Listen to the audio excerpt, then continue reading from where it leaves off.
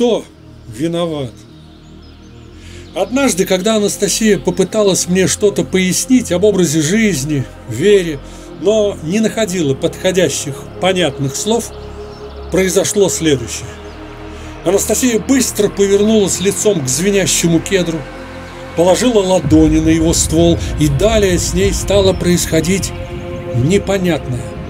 Она, подняв голову вверх, обращаясь то ли к кедру, то ли к кому-то высоко вверху, стала страстно и самозабвенно говорить, то словами, то звуками. Она что-то пыталась объяснить, доказывать, умоляла о чем-то. Время от времени в ее монолог вплетались настойчиво требовательные нотки. Усилилось потрескивание, звон кедра. Ярче и толще стал его луч, и когда Анастасия требовательно произнесла «Ответь мне! Ответь! Поясни! Дай мне его, дай!» При этом она встряхнула головой и даже топнула босой ногой. Бледное свечение кроны звенящего кедра устремилось к лучу, и луч, вдруг оторвавшись от кедра, улетел вверх. Но тут же появился другой луч, шедший сверху к кедру. Он состоял словно из голубоватого тумана или облака. Направленные вниз кончики иголочек кедра засветились такими же облачными, едва заметными лучиками. И эти лучики стремились к Анастасии, но не касались ее. Они, словно исчезая, растворялись в воздухе. И когда она снова требовательно топнула ногой и даже хлопнула ладошками по огромному стволу звенящего кедра, зашевелились светящиеся иголочки, слились лучики их в единый облачный луч. И он, идущий вниз к Анастасии, не касался ее, растворялся в воздухе, словно испаряясь. Я с ужасом вспомнил, что, наверное, именно от такого луча погибли ее родители – Анастасия продолжала упрямо о чем-то упрашивать, требовать. Словно избалованный ребенок настойчиво просит у родителей требуемое ему. И вдруг луч рванулся к ней и осветил ее всю, словно фотовспышкой. Вокруг Анастасии образовалось и таяло облачко. Луч, идущий от кедра, растворился, погасли лучики, исходящие от иголочек. Таяло облачко вокруг Анастасии. Оно то ли входила в нее, то ли растворялась в пространстве.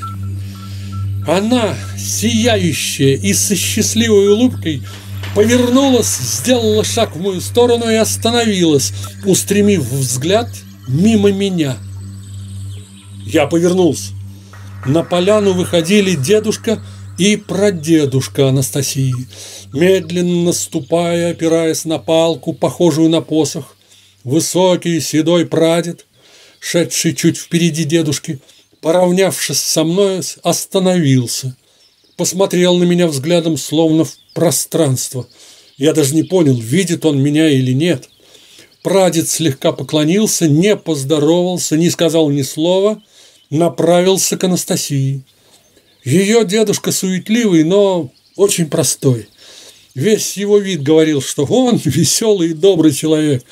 Поравнявшись со мной, дедушка остановился, по-простому поздоровался за руку, стал что-то говорить, но ничего из сказанного им тогда не запомнилось. Почему-то и он, и я стали с волнением смотреть на происходящее у кедра. Прадед остановился напротив Анастасии. Они некоторое время молча смотрели друг на друга – она стояла перед ним, опустив руки по швам, словно школьница или абитуриентка перед строгим экзаменатором. Она была похожа на провинившегося ребенка, чувствовалась, волновалась. В наступившей напряженной тишине раздался глубокий, бархатный и четкий голос прадеда. Он и с Анастасией не поздоровался, а сразу, медленно и четко произнося слова – задал строго вопрос. Кто может, минуя дарованный свет и ритм, обращаться прямо к нему? Любой человек может обращаться к нему. Изначально он и сам с радостью говорил с человеком, и сейчас он хочет этого. Быстро ответил Анастасия. Все пути им предначертаны.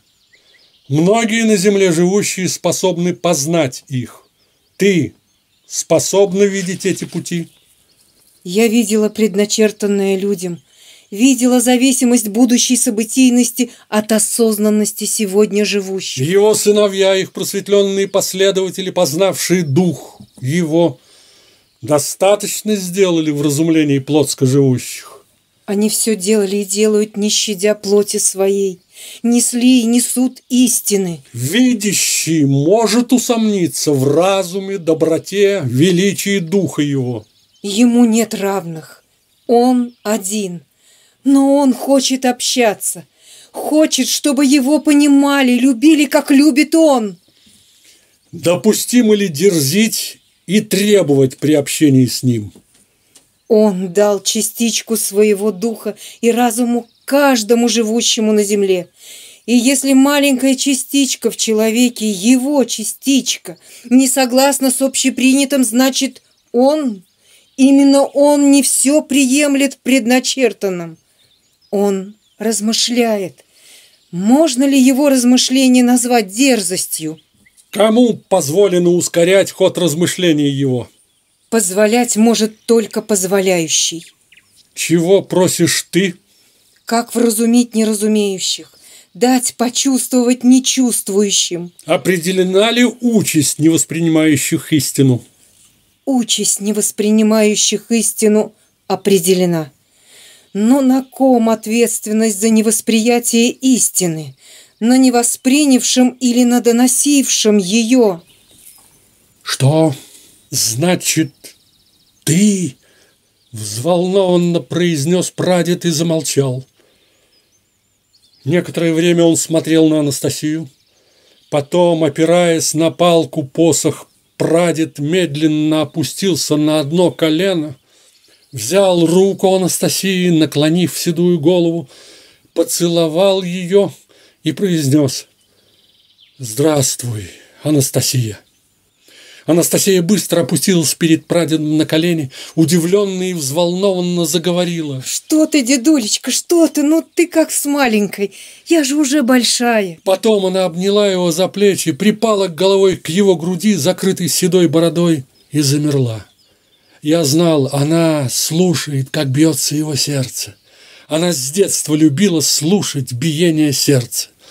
Седой старец, стоя на колене, одной рукой опираясь на палку посох, другой гладил золотистые волосы Анастасии.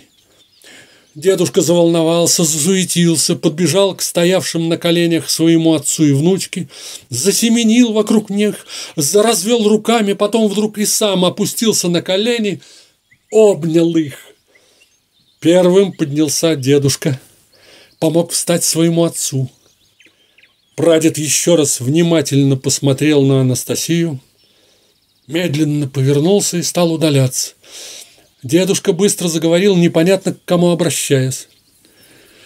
И все равно балуют все ее.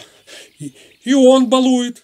Ишь, куда забралась? Нос свой сует, куда захочет. Воспитывать некому ее. Кто дачникам помогать будет теперь, а? Кто? Прадед остановился, медленно повернулся и снова его глубокий бархатный голос четко произнес «Делай, внученька, как сердце велит тебе и душа. С дачниками твоими я сам тебе помогу». Повернувшись, величественный седой старец медленно пошел с поляны. «Ну, я и же говорю, что все ее балуют», — снова заговорил дедушка. Поднял прутик и со словами «А вот я сейчас повоспитываю!» Засеменил к Анастасии, помахивая протиком. Ой, ой! Сплеснула руками Анастасия, изображая испуг. Потом засмеялась и отбежала в сторону от приближающегося дедушки. Она еще убегать вздумала?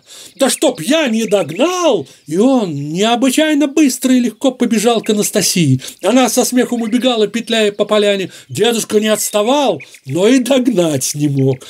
Вдруг он нохнул и присел, схватившись за ногу. Анастасия быстро повернулась, на лице ее было волнение. Она подбежала к дедушке, протянула к нему руки, да так и замерла. Ее раскатистый, заразительный смех заполнил поляну. Я внимательно присмотрелся к позе дедушки и понял причину ее веселья. Дедушка, присев на одной ноге, вторую вытянул перед собой и держал ее на весу, не касаясь земли, а гладил, словно поврежденную, именно ту ногу, на которой сидел. Он перехитрил Анастасию, но не обманул ее. Как потом выяснилось, она должна была вовремя заметить несоответствие, комичность его позы. Пока Анастасия смеялась, дедушка успел схватить ее за руку и, подняв свой прутик, слегка стеганул Анастасию как ребенка. Анастасия сквозь смех попыталась изобразить, что ей больно, несмотря на непрекращающийся сдерживаемый смех. Дедушка обнял ее за плечи и сказал, «Да ладно уж, не плачь. Получила? По делам. Вот теперь слушаться будешь. А то я вот орла старого тренировать начал. Он хоть и старый, но силу еще имеет, не помнит многое, а она лезет везде, безрассудная. Анастасия перестала смеяться, внимательно посмотрела на, на дедушку и воскликнула.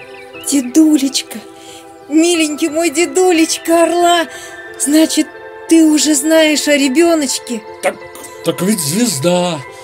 Анастасия не дала дедушке договорить. Она обхватила его за талию, приподняла от земли и закружила. Когда поставила снова на место, дедушка пошатнулся и сказал, пытаясь быть строгим, «Ты, ты, ты как со старшими обращаешься? Я же говорю, воспитание слабое!» И он, помахивая прутиком, быстро пошел догонять своего отца. Когда дедушка поравнялся с деревьями на краю поляны, Анастасия крикнула ему вслед – Спасибо тебе, дедулечка! За орла спасибо! Дедушка повернулся, посмотрел на нее. Только ты, внученька, будь, пожалуйста! Тон его голоса был слишком ласковым, и он, прервав фразу, чуть строже добавил «Смотри у меня!» и скрылся за деревьями.